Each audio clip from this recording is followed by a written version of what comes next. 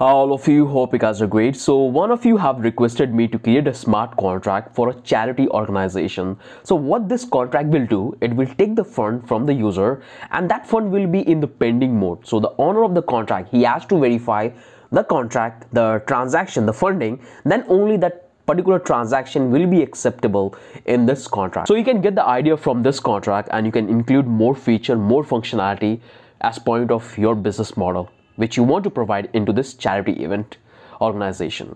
So here you can see that I have opened Remix ID and uh, the one thing I want to recommend is that in this particular contract I'm using 8 version of Solidity.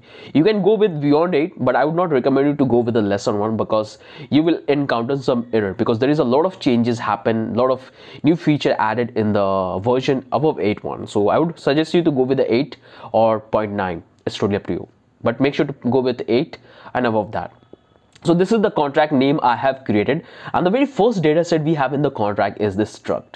You can see I call it donation and in that we are keeping few relevant information about the user who will donate the fund into the charity contract. So the very first data type we have inside the struct is the address and obviously you have to know that who have donated the fund in the contract. So we are keeping that track here address then we are keeping the amount that how much he or she have donated the fund in the contract then we have this particular boolean variable and this particular variable will define whether that transaction, the donation is verified or not.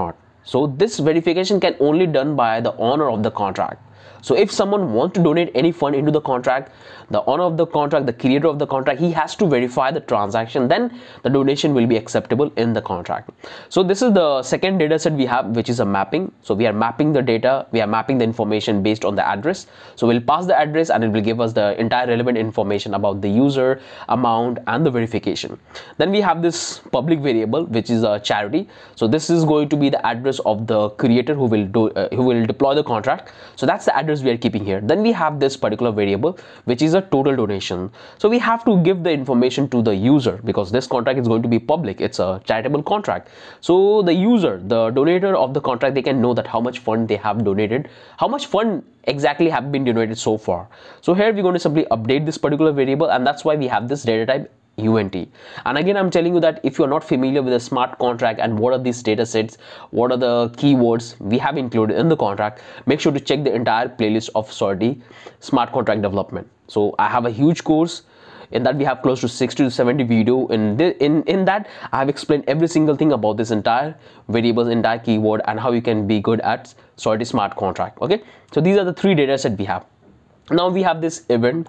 So as you all know that events are the most cheapest way to store data on the blockchain. Because when you store data anything on the blockchains it costs money. So it's always preferable that you should store and have event in your contract which can keep the information which you want to fetch and display in your front end so just imagine that there is a particular transaction is happening. You can do that you can store that information in an array in a mapping but then you have to pay a higher amount of money for storing the information. And you can do the same thing in other way by calling this event function so you can simply call this event function and you can retrieve the data from the blockchain based on this event.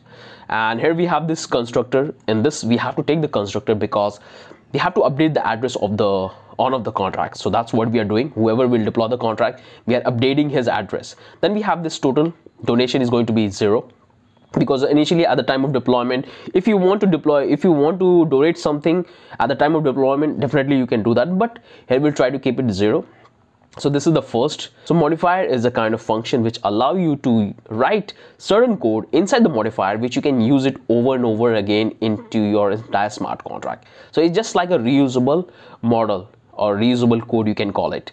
So again if it sounds complicated you can must check the entire Solidity course we have on the channel. So here what we are doing here is that we are calling this only charity. So the owner of the contract only he or she can call the function and that's the check we are doing here. We are saying that message.sender means whoever is calling this function whoever is calling this function he ha he has to be the charity means the deployer of the contract. If now that's the case then we're going to throw this particular error message that the only the only the charity can call this particular function. Okay so that's the check we are doing. And we can use this particular hook. You can call it hook. You can call it function. This particular one anywhere in your contract by calling this particular name I'll, I'll show you how you can call that one. So this is the first modifier we have. Let me close that one. And then we have this particular function called make donation. So this will exactly allow user to donate fund into the contract. So what we are doing here, first we are checking for the value. So obviously you don't want the user should donate something like zero because when they will make the transaction as a zero, they have to pay the gas fee. So you don't want that anybody should donate a zero, nothing. So that's the check we are doing. So whatever fund they're donating, it should be greater than zero. So that's the first check we have to do. You can add multiple conditions. You can make a set of users set of user in in form of array and you can allow only those user to donate the fund. You can set that kind of rules as well. Okay so that's the check we are doing. Then we are calling this particular error message. Donation amount must be greater than zero. Obviously you don't want to take this zero then what we are doing once this condition successfully fulfilled then we have to simply update the entire data we have in our contract. So you can see this is the donation struct we have taken and that's what we are doing here. So we are calling this donation memory and we are taking this donation and then we are simply updating the entire struct. So we have this struct donation then we are calling this particular message.sender so this will give us the address of the user the signer who is calling the function. Then we have the message.value then we have this false so these are the three data we are passing. And one thing you have to remember is that this function will call by the donor the one who will donate the fund. So we are setting this to false by default because this transaction will go to the uh, creator of the contract the charity owner and he has to verify the transaction. So that's the entire data we are passing. Then we are simply increasing the fund. You can see. Then we are simply passing this then we are simply passing this message.sender into this donation. So you can see here we have this donation which keep the track of the individuals and their information. So that's what we are passing here. And then we are simply updating the total funding which we are getting. So we are adding that plus. So it will increase every time the funding will come. It will every time the donation will come this value will increase. And then we have initialized this event so we can fetch that event we can fetch that information and we can display in our front end. So that's the very first function we have in the contract. Let me close this one. Now let's come back to the second function which allow the charity owner the contract of the um, the owner of the contract to verify the funding the verify the donations. So here we have called this verify donation and that we are taking the address of the user so that's what we are taking here. We are making public and it's called only charity. So only owner of the contract who can call this function not anybody else. No one else can call this function because here we have attached and we have said explicitly that only owner of the contract can call the function. So here we are checking for the condition. We are checking this donation storage duration and then we are passing this his address to identify his particular donation. That's what we are doing here and here we are making this multiple checks so what check we are doing here that whoever is donating the fund it should be not the zero address. And what is the zero address? Means it's a contract. So contract cannot donate any fund into the contract. So only user address personal address can donate the fund not the contract.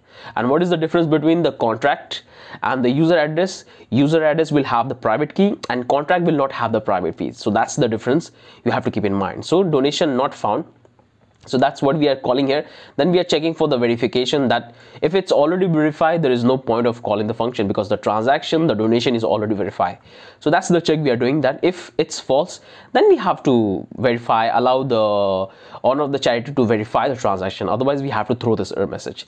And then we have to simply turn this is verified very variable to true means the transaction is verified and then we have to initialize this event. So that's the entire function we have for verify donation. So let me close that one. Now here we have the last function which allow to get the information from the contract about uh, individual donation. So that's a fairly easy process. And, and then what we are doing here is we are returning the particular amount the user have donated and we are checking whether it's verified or not. So this function is public. User can come and he can check whether his transaction is, is still in pending means false or his transaction or his donation is accepted so that's what we have done here. So simply we are updating the data and then we are returning this two information the amount and the donation verified.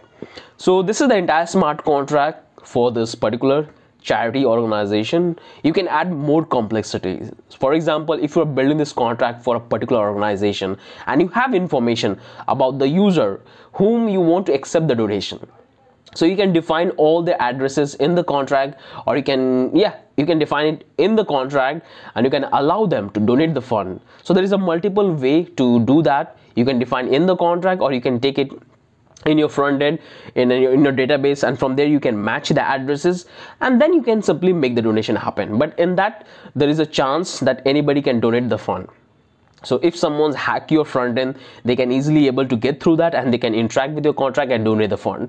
So it's always necessary that you have to inform and you have to store the information in the contract if that's the data is really in, really important. And you don't want that anybody else call the function and donate anything into the contract um, like from the outside. So hope this entire thing makes sense to all of you guys. You can see we have no issues in that. You can easily able to donate the fund. You can make the donation. You can verify that. So this code i'm going to provide you in the discord server. So let me copy that one. And this is the public discord server for the blockchain coder.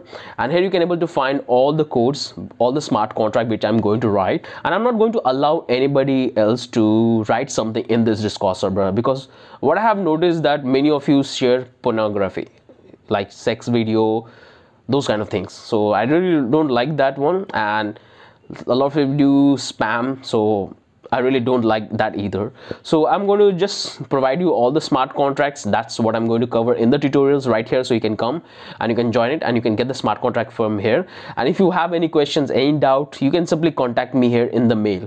So this is the mail. Just give a mail, the query you have. David will just simply send me back with the emails and I can respond to you okay? So all the source code of the smart contract that would be provided here so you can make sure to join. I'll provide the link in the description or you can go to the blockchain coder there is a discord section. Click on that and you can join this particular okay? So I'm going to simply paste the entire contract and I'm going to hit enter. And you can simply come and you can simply get the contract and you can do the experiment again i'm telling you that this is the simple model for a donation or for the charity event but you can add more complexity and I believe that you guys are following this particular project. We have given a lot of emphasis. So this one is a really amazing project which you can include in your portfolio because you are dealing with the contract and you are dealing with the backend you are bringing the API and the contract together and storing those information which is relevant on the blockchain and those information are not that important. You are keeping in the centralized server. So this will give you amazing learning that how you can work around the APIs and build app. So recently I have completed this entire MetaMask. So must tell you so I must tell you that come here and watch this video. In that I've explained that what you're going to build in the upcoming project. In that we're going to build this metamask clones okay? So make sure to come all of and have a look that what do you need and build all the project we have on the channel. And the one thing i want to talk about that finally we have launched our first ai power application that is cinema it's a movie application where you will learn everything about Web2 development and how to deal with the APIs, how to build a robust data structure where you can handle the state of our application. So state is very important in any kind of application you build because that's what define and that's how you can provide access to the, your users So make sure to come and check here I have explained everything that what you will get. Make sure to watch this video and that I've explained that what you're going to exactly build. We have a beautiful this particular application. And here you will find all the modules we have defined. So you're going to build the structure you're going to build the front end and this is the most important part. This is the API Redux toolkit. So we're going to learn extensively about the API calls and the most demandable technology like Redux Toolkit. It's one of the most demandable technology right now in the industry, which you have to know if you really want to become a like DApp developer or a API developer. So this one is the most important things. So make sure to come and check out. And here we have some ad advanced features like login feature, emails, voice assistance. So everything is explained beautifully. So hope you guys have found this video valuable. And if you still have any confusion and if you want me to write a specific contract for any topic, do let me know in the comment section or shoot me email in this particular email id in this particular email id and i'll try to make a contract on top of that okay? So hope you guys have found this video valuable. If you still have any confusion any doubt do let me know in the comment section. I'll try to help you in that. Have a wonderful day. Bye bye